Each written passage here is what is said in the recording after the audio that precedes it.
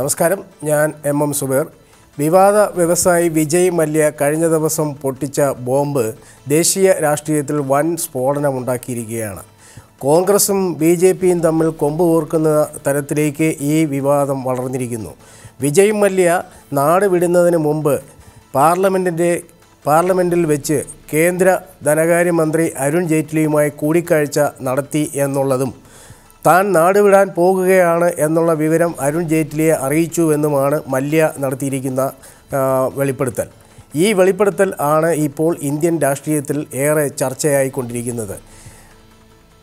കന്യാസ്ത്രീ പീഡനത്തിൽ bishop Franco പ്രതിയായിട്ടുള്ള കേസിൽ ഇടപെടാൻ ഇടപെടാൻ തൽക്കാലം ഇല്ല എന്ന് ഹൈക്കോടതി ഇന്നലെ വ്യക്തമാക്കി. കേസ് നേരായ വഴിയിൽ ആണ് നടക്കുന്നത് എന്നും ഈ മാസം പത്തൊൻപത് വരെ കാത്തിരുന്നുകൂടെ എന്നും ഹർജിക്കാരോട് ഇന്നലെ ഹൈക്കോടതി ചോദിച്ചു. ഈ വാർത്തകളും വിശേഷങ്ങളും അടങ്ങുന്ന കൗമുദി ന്യൂസ് ട്രാക്കിലേക്ക് പ്രിയപ്പെട്ട പ്രേക്ഷകർക്ക് സ്വാഗതം. ഇന്ന് നമുക്ക് മുഖ്യ വാർത്തകൾ എന്തൊക്കെയാണ് പത്രങ്ങൾ ചർച്ച ചെയ്യുന്നത് എന്ന് നോക്കാം.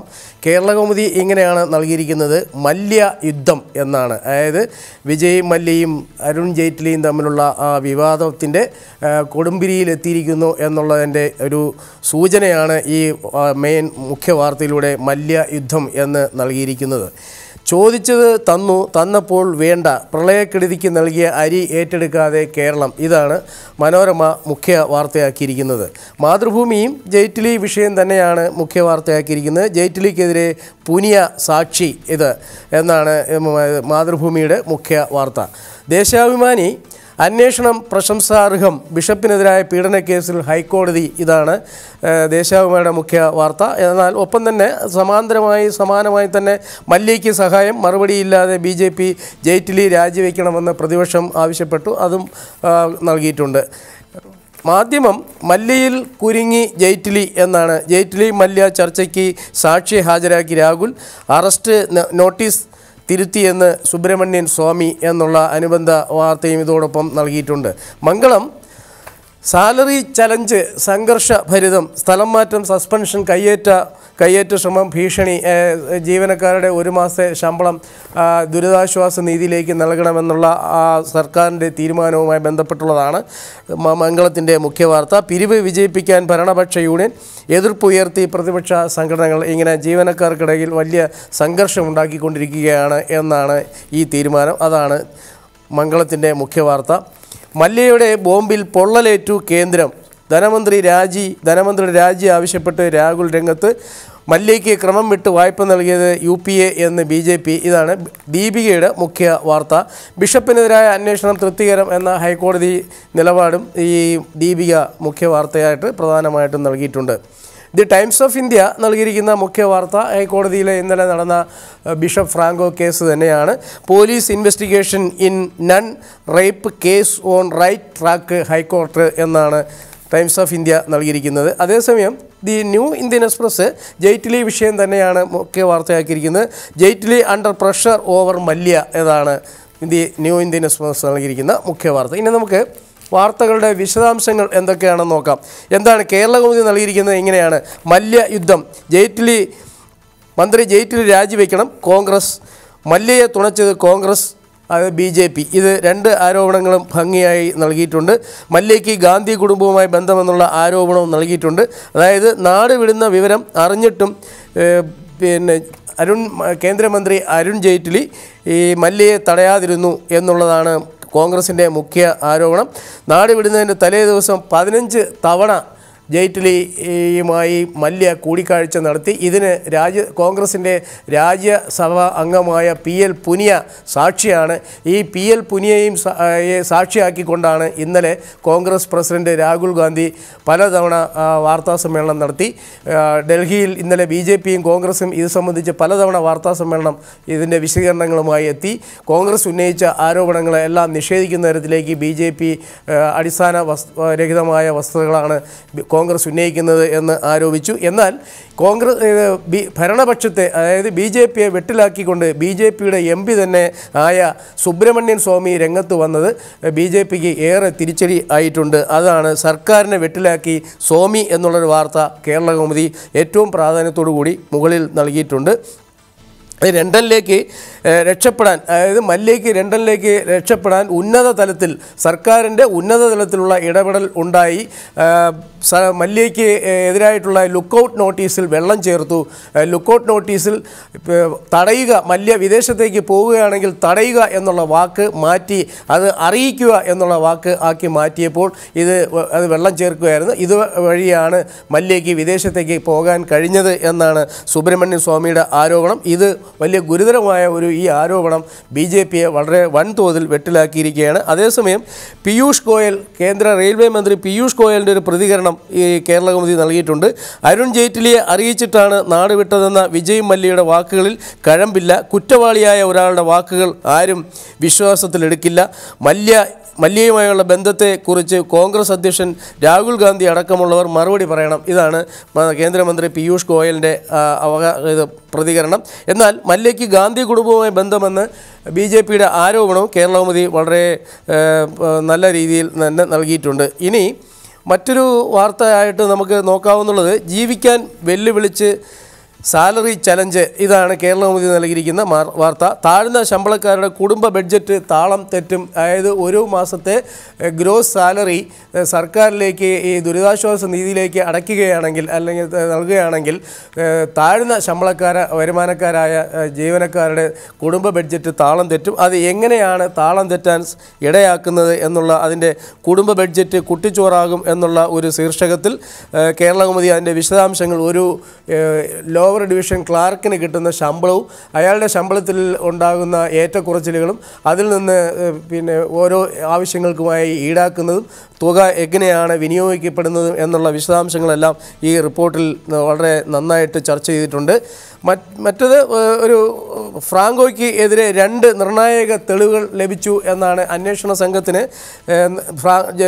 ബിഷപ്പ് ഫ്രാങ്കോയ്ക്കെതിരെ രണ്ട് നിർണായക തെളിവുകൾ അതായത് കുറ്റം തെളിയിക്കുന്നതിനാവശ്യമായ രണ്ട് പ്രധാന തെളിവുകൾ ലഭിച്ചു കഴിഞ്ഞു. ആ തെളിവുകൾ എന്താണെന്ന് പോലീസ് ഇതുവരെ പുറത്തു വിട്ടിട്ടില്ല. പക്ഷേ അതിന്റെ വിശദാംശങ്ങൾ രണ്ട് ദിവസത്തിനകം പുറത്തു വരും. ഇതാണ് ഇത് അതോടൊപ്പം തന്നെ ബിഷപ്പ് ഹൗസിലെത്തി നോട്ടീസ് നൽകും എന്നാണ്. അതായത് പത്തൊൻപതിന് ബിഷപ്പ് ഇവിടെ കേരളത്തിൽ ഹാജരാകുന്നതിന് കേരളത്തിൽ പോലീസിന് മുമ്പായി ഹാജരാകണമെന്ന പോലീസിന്റെ നോട്ടീസ് പത്തൊമ്പതിന് മുമ്പ് തന്നെ ജലന്ധർ പോലീസ് ബിഷപ്പിന്റെ ബിഷപ്പ് ഹൗസിലെത്തി നേരിട്ട് ഹാജരായി. നേരിട്ട് ഇത് നോട്ടീസ് നൽകും എന്ന് ഉള്ള റിപ്പോർട്ടും കേരള നൽകിയിട്ടുണ്ട്. ജലന്ധർ പോലീസ് കമ്മീഷണർ പ്രവീൺ കുമാർ സിൻഹയ്ക്ക് ഇന്നലെ തന്നെ ഈ നോട്ടീസ് കേരള പോലീസ് കൈമാറി കഴിഞ്ഞു. അവർ ജലന്ധർ പോലീസ് ആയിരിക്കും ബിഷപ്പിന് നേരിട്ട് ഈ നോട്ടീസ് നൽകുന്നത്. അതേസമയം അകത്ത് കേരള അകത്ത് നൽകിയിരിക്കുന്നത് ഹൈക്കോടതിയുടെ പോലീസ് ഇടപെടലുമായി ബന്ധപ്പെട്ടുള്ള വാർത്തയാണ്. പോലീസ് അന്വേഷണത്തിൽ ഇടപെടുന്നില്ല എന്നുള്ളതാണ് ഈ വാർത്ത. അതിൽ പറയുന്നത് ഇങ്ങനെയാണ്. അതായത് ബിഷപ്പിനെതിരെയുള്ള കേസ് പോലീസ് അന്വേഷണത്തിൽ ഇടപെടുന്നില്ല. ഹൈക്കോടതി ചീഫ് ജസ്റ്റിസിന്റെ ഉൾപ്പെട്ട ബെഞ്ചാണ് രണ്ടംഗ ബെഞ്ചാണ് ഈ നിരീക്ഷണം നടത്തിയിരിക്കുന്നത്. പോലീസ് നടത്തുന്ന അന്വേഷണത്തിൽ വളരെയേറെ തൃപ്തിയുണ്ട്. ഇതുകൊണ്ട് ഇനി ഇപ്പോൾ ഇക്കാര്യത്തിൽ ഹൈക്കോടതി നേരിട്ട് ഇടപെട്ട് നിർദ്ദേശങ്ങൾ നൽകുന്നത് അനുചിതമായിരിക്കും. അതുകൊണ്ട് പോലീസ് ഇപ്പോൾ ഇടുന്നില്ല പോലീസിന്റെ അന്വേഷണം വരെ നമുക്ക് കാക്കാം എന്ന് പറയുന്നു. ഹർജിക്കാർ അല്പം കൂടി ക്ഷമ കാട്ടു എന്നും ഹൈക്കോടതി പറഞ്ഞിട്ടുണ്ട്. അതായത് ബിഷപ്പിനെ അറസ്റ്റ് ചെയ്യണമെന്നാണോ ശിക്ഷിക്കണമെന്നാണോ നിങ്ങളെ നിങ്ങളുടെ താല്പര്യം എന്ന് ഹൈക്കോടതി ചോദിച്ച് ഹർജിക്കാരോട് ചോദിച്ചു. പത്തൊമ്പതിന് ഹാജരാകാൻ ബിഷപ്പിനോട് നിർദ്ദേശിച്ചിട്ടുണ്ട്. നിങ്ങൾ അല്പം കൂടി ക്ഷമ കാട്ടണം. കുറഞ്ഞ പക്ഷം കേസിലെ ഇരയുടെ ക്ഷമയെങ്കിലും കാണിക്കണം. ചീഫ് ജസ്റ്റിസ് ഉൾപ്പെട്ട ഡിവിഷൻ ബെഞ്ച് വ്യക്തമാക്കി എന്നുള്ളതാണ് ഈ വാർത്ത. ഫ്രാങ്കോയെ പുറത്താക്കാൻ ലത്തീൻ സഭ ആവശ്യപ്പെടും എന്നൊരു വാർത്തയും എം എസ് സജീവൻ കൊച്ചിയിൽ നിന്ന് നൽകിയിട്ടുണ്ട്.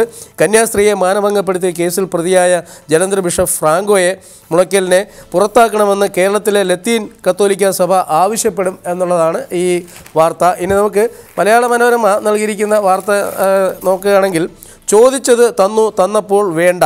പ്രളയക്കെടുതിക്ക് നൽകിയ അരി ഏറ്റെടുക്കാതെ കേരളം എന്നാണ് നൽകിയിരിക്കുന്ന മുഖ്യ വാർത്ത. അതായത് അധികമായി സംസ്ഥാനത്തിന് അധികമായി പ്രളയം ഉണ്ടായതിനു ശേഷം അധികമായി അനുവദിച്ച എൺപത്തി ഒൻപതിനായിരത്തി അഞ്ഞൂറ്റി നാൽപ്പത് ടൺ അരി മൂന്നാഴ്ചയായിട്ടും നം സംസ്ഥാന സർക്കാർ അല്ലെങ്കിൽ സംസ്ഥാന സിവിൽ സപ്ലൈസ് വകുപ്പ് ഏറ്റെടുക്കുന്നില്ല എന്നുള്ളതാണ്. ജി വിനോദാണ് ഇത് തിരുവനന്തപുരത്ത് നിന്ന് റിപ്പോർട്ട് ചെയ്തിരിക്കുന്നത്. F C I general manager S K Das കഴിഞ്ഞ ദിവസം സംസ്ഥാന സർക്കാരിന് കത്തയച്ചിരുന്നു ഈ അരി എത്രയും പെട്ടെന്ന് ഏറ്റെടുക്കണം. ബുധനാഴ്ചയ്ക്കുള്ളിൽ ഏറ്റെടുത്തില്ലെങ്കിൽ ഈ അരി റദ്ദാക്കും. നടക്കും എന്നുള്ളതാണ്. ഗോഡൗണിൽ നിന്ന് അരി ഏറ്റെടുക്കേണ്ടത് സിവിൽ സപ്ലൈസ് വകുപ്പിലെ സപ്ലൈ ഓഫീസർമാരാണ് അതാണ് എഫ് സി ഐ പറഞ്ഞിരിക്കുന്നത്. അതായത് എഫ് സി ഐയുടെ ഇപ്പോഴത്തെ ഇപ്പോഴുള്ള സംസ്ഥാനത്തുള്ള ഇരുപത്തിരണ്ട് ഡിപ്പോകളിൽ പതിനാല് എണ്ണത്തിൽ നിന്ന് പോലും പതിനാല് എണ്ണത്തിൽ നിന്ന് ഒരു കിലോ അരി പോലും ഇതുവരെ ഏറ്റെടുക്കാൻ സംസ്ഥാന സർക്കാർ തയ്യാറായിട്ടില്ല. ഇത് പത്തൊമ്പതിനകം ഏറ്റെടുത്തെങ്കിൽ അധിക അരി സംസ്ഥാനത്തിന് നഷ്ടമാകുമെന്നും സർക്കാരിനെ അറിയിച്ചിട്ടുണ്ട് എന്നുള്ളതിന്റെ വിശദാംശങ്ങളെല്ലാം ഈ വാർത്തയിലുണ്ട്.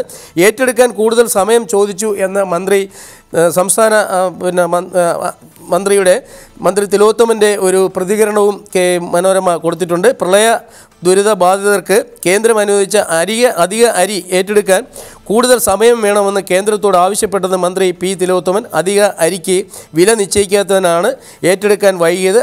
അരിവില കേന്ദ്രം ഇതുവരെ നിശ്ചയിച്ചു തന്നിട്ടില്ല. വില നിശ്ചയിച്ചിട്ടില്ലെങ്കിലും അടിയന്തരമായി ഏറ്റെടുക്കാൻ മന്ത്രിസഭാ യോഗത്തിൽ മുഖ്യമന്ത്രി നിർദ്ദേശിച്ചിരുന്നു എന്നുള്ളതാണ് ഈ വാർത്തകളുടെ വിശദാംശങ്ങൾ.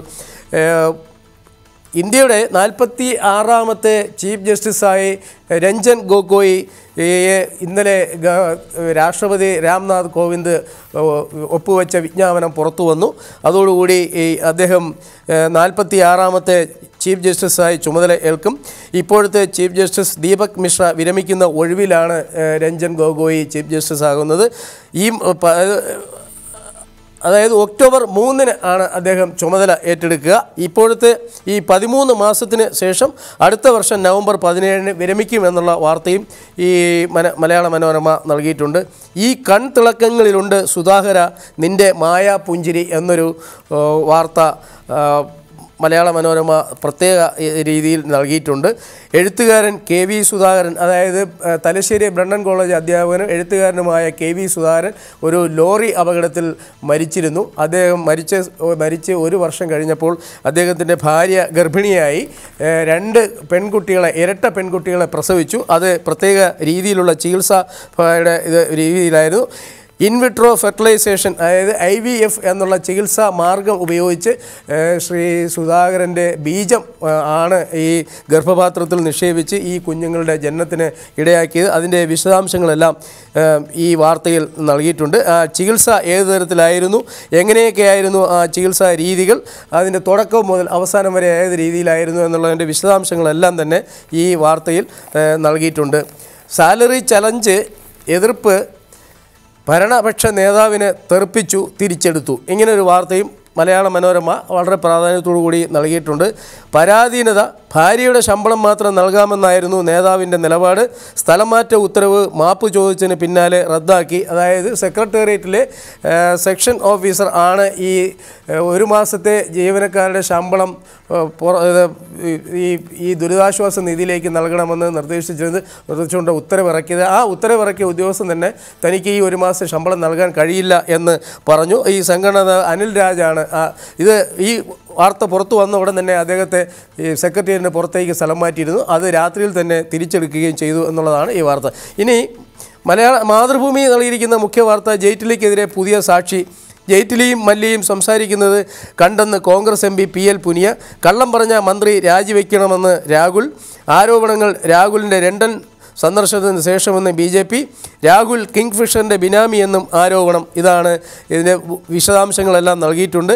രണ്ടായിരത്തി പതിനാറ് മാർച്ച് രണ്ടിന് മല്യ രാജ്യം വിട്ടു. മാർച്ച് ഒന്നിന് പാർലമെന്റിലെ സെൻട്രൽ ഹാളിൽ വെച്ച് ജെയ്റ്റ്ലിയും മല്യയുമായി കൂടിക്കാഴ്ച നടത്തി എന്നാണ് Congress M P P L Punia നൽകിയിരിക്കുന്ന വിശദാംശങ്ങൾ. ലണ്ടനിലേക്ക് പോകുകയാണെന്ന് പാർലമെന്റ് സെൻട്രൽ ഹാളിൽ വെച്ച് വിജയ് മല്യ ധനമന്ത്രി അരുൺ ജെയ്റ്റ്ലിയെ അറിയിച്ചിരുന്നു. ഇതുൾപ്പെടെ മല്യ രാജ്യം വിട്ട സംഭവത്തിൽ നിഷേ നിഷേധിക്കാനാകാത്ത രണ്ട് യാഥാർത്ഥ്യങ്ങളുണ്ട്. മല്യയുടെ പേരിൽ പുറപ്പെടുവിച്ചിരുന്ന ലുക്കൗട്ട് നോട്ടീസിലെ രണ്ടായിരത്തി പതിനഞ്ച് ഒക്ടോബർ ഇരുപത്തിനാലിന് മയപ്പെടുത്തി തടയുക എന്നതിൽ നിന്ന് അറിയിക്കുക എന്നാക്കി അൻപത്തിനാല് ലഗേജുകളുമായി രാജ്യം വിടാൻ മല്യയ്ക്ക് ഇത് സഹായകമായി എന്നാണ് സുബ്രഹ്മണ്യൻ സ്വാമി ഇത് സംബന്ധിച്ച് ആരോപണം ഉന്നയിച്ചിരിക്കുന്നത്. ബിഷപ്പിനെതിരെ ആയ അന്വേഷണം തൃപ്തികരം കാത്തിരിക്കാമെന്ന് ഹൈക്കോടതി. അന്വേഷണം പ്രഥമ ദൃഷ്ടിയ തൃപ്തികരമാണെന്ന് ചീഫ് ജസ്റ്റിസ് ഋഷികേഷ് റായും ജസ്റ്റിസ് ജയശങ്കരൻ നമ്പ്യാരും ഉൾപ്പെട്ട ഡിവിഷൻ ബെഞ്ച് ഇന്നലെ ഹർജികൾ പരിഗണിക്കവേ നിർദ്ദേശിച്ചിരുന്നു. ഇനി ഉള്ള മറ്റൊരു വാർത്ത സാക്ഷികളെ ഭീഷണിപ്പെടുത്തി പ്രസംഗം പി കെ ബഷീറിന്റെ പേരിലുള്ള കേസ് പിൻവലിച്ചത് കോടതി സുപ്രീം കോടതി ആണ് ഈ കേസ് റദ്ദാക്കിയത്. അതായത് രണ്ടായിരത്തി എട്ടിൽ മലപ്പുറത്ത് യൂത്ത് കോൺഗ്രസ് യൂത്ത് ലീഗ് പ്രവർത്തകർ നടത്തിയ പാഠപുസ്തക സമരത്തിനിടെ ജെയിംസ് അഗസ്റ്റിൻ എന്ന അധ്യാപകൻ കൊല്ലപ്പെട്ടിരുന്നു. ഈ കേസിൽ തെളിവ് നൽകുന്നവരുടെ കാൽ വെട്ടും എന്ന് മുസ്ലിം ലീഗിന്റെ എം എൽ എ ആയ പി കെ ബഷീർ ഒരു പ്രസംഗത്തിൽ പറഞ്ഞിരുന്നു. ഇതാണ് ഹർജിക്ക് ആധാരമായ കേസ്. ഇത് അന്നത്തെ വി എസ് അച്യുതാനന്ദൻ മുഖ്യമന്ത്രിയായിരുന്ന ഗവൺമെന്റ് കേസെടുത്തു. എന്നാൽ പിന്നീട് വന്ന ഉമ്മൻചാണ്ടി ഗവൺമെന്റ് ആ കേസ് റദ്ദാക്കി. ഇതാണ് ഇപ്പോൾ സുപ്രീം കോടതിയിൽ ചോദ്യം ചെയ്തത്. ഇത് കേസ് വീണ്ടും പരിഗണിക്കാം പരിഗണിക്കണം എന്ന് നിർദ്ദേശിച്ചുകൊണ്ട് സുപ്രീം കോടതി ഈ കേസ് ആദ്യം പരിഗണിച്ച മജിസ്ട്രേറ്റ് കോടതിക്ക് നൽകിയിരിക്കുകയാണ്. ഇതാണ് മുഖ്യ വാർത്ത. മറ്റൊരു പ്രധാന വാർത്തയായിട്ട് ബി ജെ പി എം പിയുടെ ഒരു വിവാദപരമായ ഒരു പ്രസ്താവനയാണ്. ക്ഷേത്ര സ്വർണം വിറ്റ് കേരളത്തെ പുനർനിർമ്മിക്കണമെന്ന് B J P M P അതായത് വടക്ക് പടിഞ്ഞാറൻ ഡൽഹിയിലെ എം പി ആയ ഉദിത് രാജാണ് ഈ നിർദ്ദേശം വെച്ചിരിക്കുന്നത്. കേരളത്തിലെ മൂന്ന് ക്ഷേത്രങ്ങളായ പത്മനാഭസ്വാമി ക്ഷേത്രം ശബരിമല ക്ഷേത്രം ഗുരുവായൂർ ക്ഷേത്രം ഈ ക്ഷേത്രങ്ങളിൽ ഏതാണ്ട് ഒരു ലക്ഷം കോടി രൂപയുടെ സമ്പത്തുണ്ട്. ഇതിൽ ഇരുപത്തോരായിരം കോടി രൂപയുടെ നാശനഷ്ടമുണ്ടായ പ്രളയ ദുരന്തത്തിൽ നിന്ന് കേരളത്തെ രക്ഷിക്കുന്നതിന് ഇതിൽ ഒരു ഭാഗം എടുത്ത് ഉപയോഗിക്കണം എന്നാണ് വിവാദപരമായ ഈ പ്രസ്താവന നടത്തിയിരിക്കുന്നത്.